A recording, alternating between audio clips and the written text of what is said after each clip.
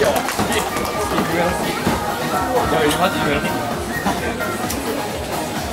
う発狂する俺は俺もいいよあ厄介厄介それも厄介完璧やん完璧いやなんか俺俺0.5ぐらい俺0.5ぐらい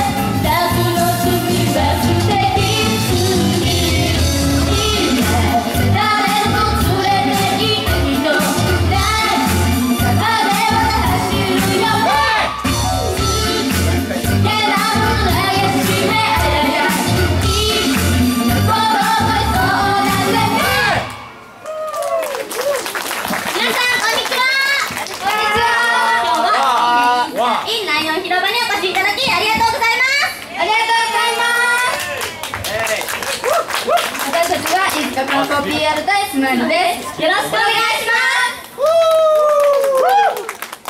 皆さん今日暑いですね。それなね、夏になったような気分にね。ものすごい汗かきよったよね歩いて生きようときにでですね実はですね「いいね飯塚」というパンフレットがあるのご存知ですか？はあそこに置いてあるんですけど実はかりんちゃんが表紙なんですよ。でなんかあありがとうございます。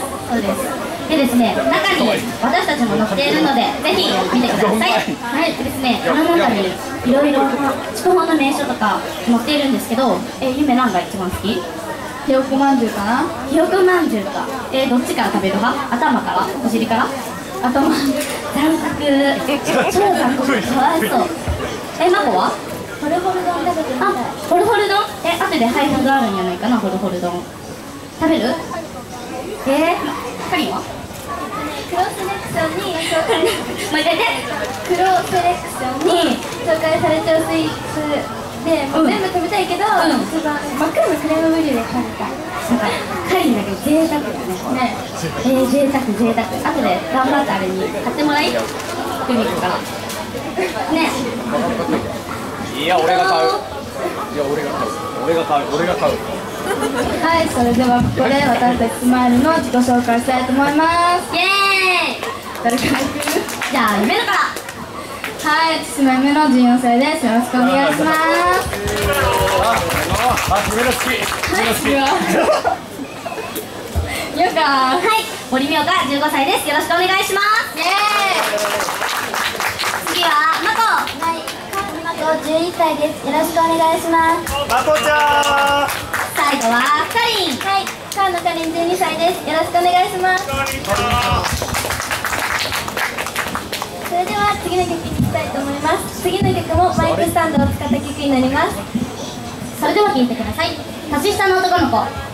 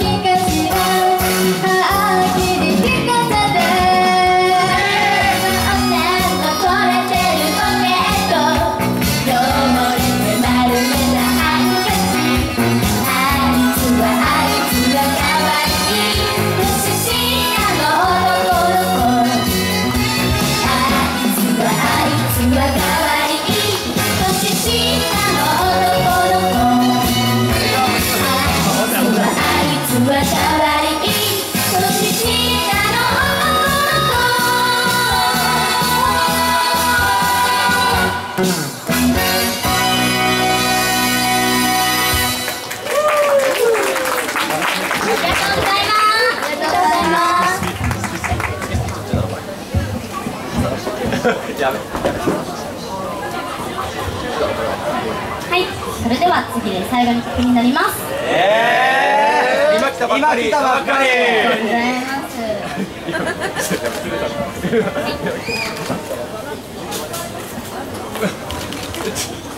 はい。この後も楽しいステージイベントや、無料そう無料配布もありますので皆さん楽しんでくださいはいお願いします。お願いします。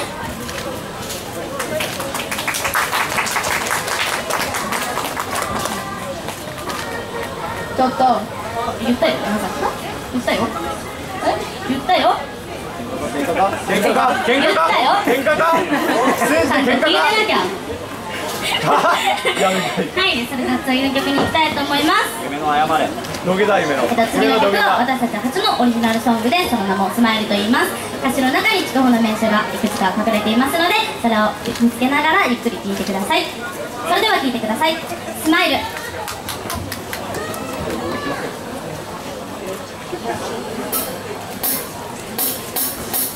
あなた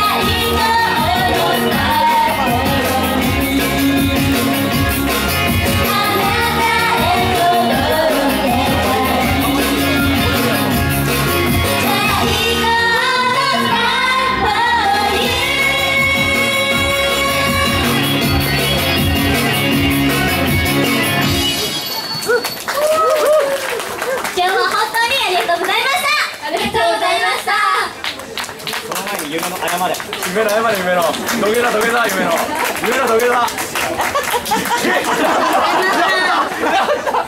あいつ俺見つめてるぞなんであいつはい、えっと、次回、えっと、次、2ステージ目があるんですけど、2ステージ目は2期生も一緒に出演しますので、ぜひお時間ある方は見に来てください。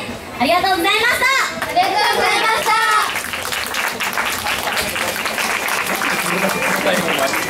た。俺だけ冷たいとかケチいぞお前。